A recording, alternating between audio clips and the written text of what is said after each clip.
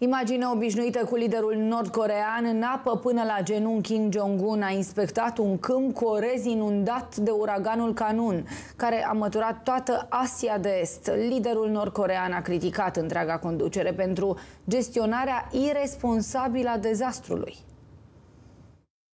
După ce uraganul Canun s-a abătut asupra peninsulei Corea, liderul Kim Jong-un i-a mustrat pe subalternii săi. Acesta a afirmat că daunele nu au fost provocate de uraganul cu viteze de peste 120 de km pe oră, ci de irresponsabilitatea guvernului.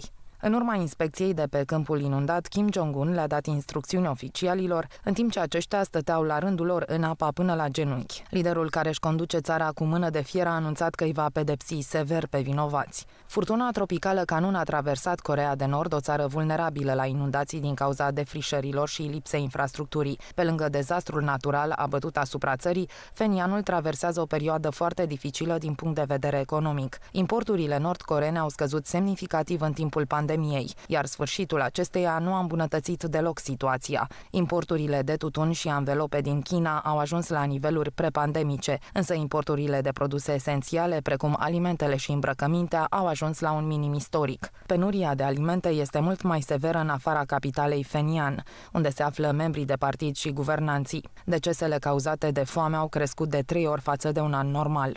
Chiar dacă populația suferă, liderul Kim Jong-un prioritizează producția de rachete de croazieră, capabile să atingă ținte la o distanță foarte mare. Corea de Nord și-a accelerat producția de echipamente militare.